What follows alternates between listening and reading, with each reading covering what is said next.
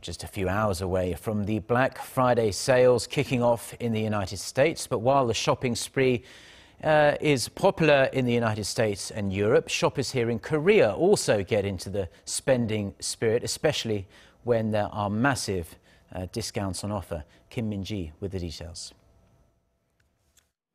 Seoul resident Choi Eun-ji has been holding off making online purchases from overseas, looking ahead to Black Friday. She browses through products to add to her wish list in hopes of getting a better bargain.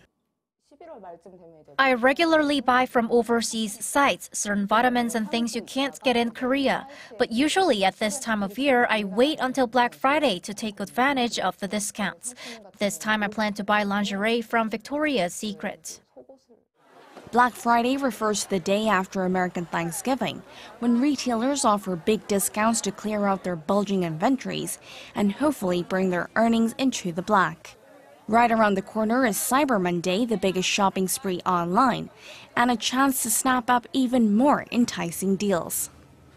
Over the years, making direct overseas purchases has become a popular option among Koreans looking to land good deals. Although the recent downturn may have dampened some of this enthusiasm, the Black Friday shopping frenzy is expected to give consumer sentiment a much needed boost.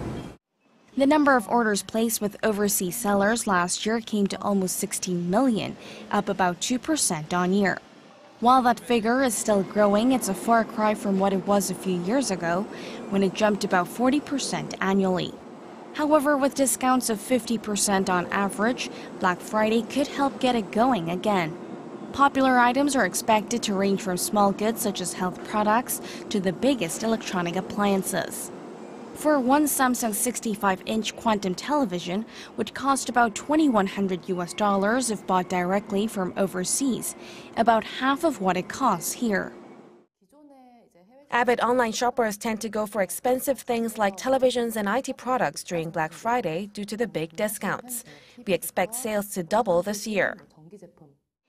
Afraid of losing out, local retailers have joined the trend, stepping up sales of their own both online and offline.